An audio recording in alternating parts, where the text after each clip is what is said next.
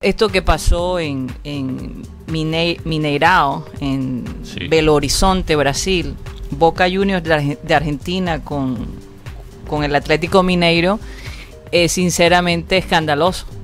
Porque es que yo creo que ya eh, los equipos que son eliminados por, eh, por el VAR y por malas intenciones de los árbitros, eh, están como cansados de, dejarse arrebatar el, el, lugar, ¿no? Donde al que ellos aspiran. Entonces, especialmente un equipo como Boca. Como Boca Juniors. Entonces, esto, las imágenes, mucha gente incluso lo vio en vivo. Los, los de Boca se volvieron supremamente violentos. Eh, quisieron ir al vestuario de Mineiros y, la policía los detuvo, pero, pero se pusieron a pelear con la policía. Querían hasta tirar cosas. Oye, no, tiraron cosas. Eh, eh, yo te digo sinceramente, yo no sé qué va a hacer la Comebol. Yo no sé cómo se va a seguir manejando este tipo de situaciones en el futuro, pero esto está dañando el fútbol. Eh, está acabando con la alegría de, los seguidores del fútbol suramericano y bueno, y en Europa también se ven algunos casos, pero yo siento que en Suramérica la cosa es todavía más fuerte, no sé, Mateo. Yo, tengo una pregunta para Guti. ¿Es opcional el VAR mm. para una liga o un torneo continental o es necesario por las reglas de FIFA? decisiones de decisiones de de billete. no, claro, hay intereses económicos, porque hay empresas que manejan estos equipos y tienen sus su intereses económicos, pero más allá que eso, por las reglas, ¿es necesario tener el VAR? No es necesario. Porque yo creo que... Es decisión, por ejemplo, de la Conmebol. Conmebol, recordemos que en la primera fase no tuvo VAR porque salía muy costoso.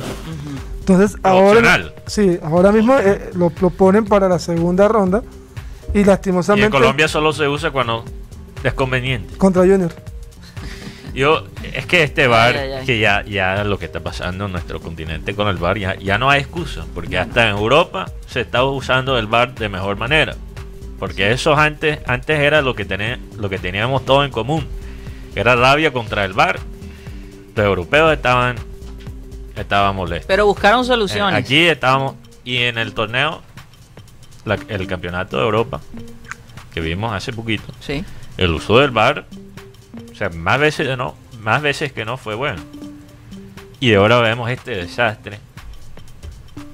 Dos goles anulados de Boca. No vi el primero, pero vi el segundo porque vi el segundo tiempo.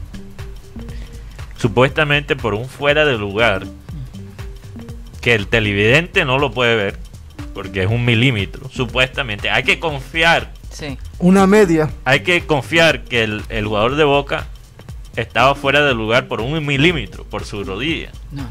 Yo, tampoco soy hincha de boca. Yo no, yo, o sea, no lo digo con un prejuicio en favor de Boca, pero me pareció bastante desagradable perder por ese gol anulado. Ahora, Boca tenía la oportunidad de ganar el, el partido por penales y eso fue un desastre. Quizás sí, pero ya estaban molestos. Estaban molestos. Entonces ya la parte psicológica eso afecta, claro. afecta ¿no? Pero, si, pero si partimos del tema de, Boca, Boca, si en la parte deportiva Boca no se ha reforzado bien, la verdad es que Boca clasificó del grupo, como decimos aquí, a regañadientes. Pero mira lo que dice Juan Sebastián Verón, no es la tecnología el problema, sino quién la usa la falta de criterio y sentido común es tremenda. A Boca lo terminan perjudicando y condicionando, no solo este partido, sino también el anterior. No se resuelve con sanciones después. No es el, no es el problema la tecnología, es quien la usa.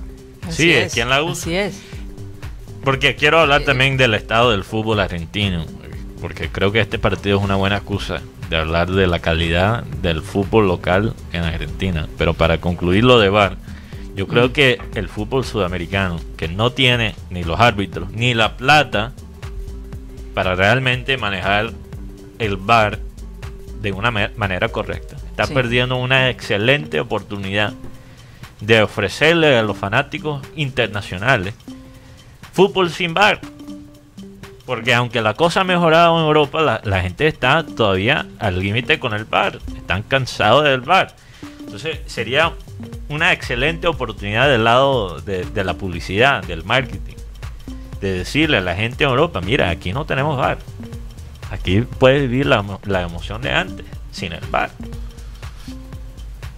Porque si no lo van a hacer bien, mejor que no lo hagan, porque ha dañado todavía más. O sea, el arbitraje ya estaba, ya estaba mal aquí y ahora se ha empeorado con esto, con este equipo. O sea, si tú le das a un bobo una pistola, lo más probable es que mate a alguien. O se mate el mismo. O se mate el mismo. Eso es lo que estamos viendo con, los árbitros aquí en, Sudamérica. Ahora, en, el tema del fútbol argentino, el fútbol argentino, y lo, vengo diciendo desde el año pasado, el fútbol argentino está bastante mal. Sí, sí. Está bastante mal. Lo único bueno que tiene Boca son los colombianos. Y eso es la realidad de muchos equipos argentinos. Pero Mateo, yo, yo de todos modos pienso que, aunque esté pasando lo que esté pasando en Argentina, la realidad es que es que eh, se perjudicó al equipo. No, no, pero ahora estoy hablando de otra cosa. Yo, yo estoy de acuerdo con eso. Lo que quiero decir es que, de todas formas, Boca no jugó bien ayer. Esto no es el Boca que, que hemos visto antes. Es un Boca muy, muy malo. Con un técnico que está ahí porque no tienen plata para contratar el, reemplazo. Bueno, es parecido a, otros a otros clubes eh, también. Parecido a la situación quizás quizás parecido a la, nuestra, aquí en Barranquilla con Junior.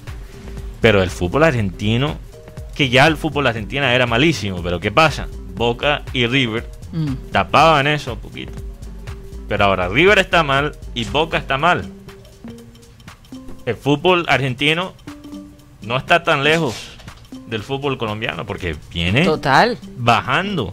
Cada año es peor. Eso es karma. Y, y tú ves, tú ves ¿Dónde está el talento joven? Para que, tiene proyección para la selección argentina. Todos se han ido de Argentina. Ellos cogen el talento nuestro y los, que, los queman. Mira Carrascal. O sea, Borré se tuvo que ir a Alemania, Quintero después a China ellos dependen de nosotros y, hasta cierto punto yo creo que es la rabia. Esa es la molestia. Esa es la molestia, que ellos tienen. Pues es que la manera como hablan de los, de los colombianitos, como dicen ellos. Bueno, sí, vimos, vimos en el partido. colombianitos. Vimos en el partido de Copa América que hay cierta animosidad y bueno, aunque el Divo Martínez se disculpó supuestamente con Mina eh, privadamente en Instagram, Quiere venir a Colombia, ¿sabías? Ya, para vacaciones. no, mejor que no venga. preguntaron que si vacacionarían con Sí, claro, con mucho gusto.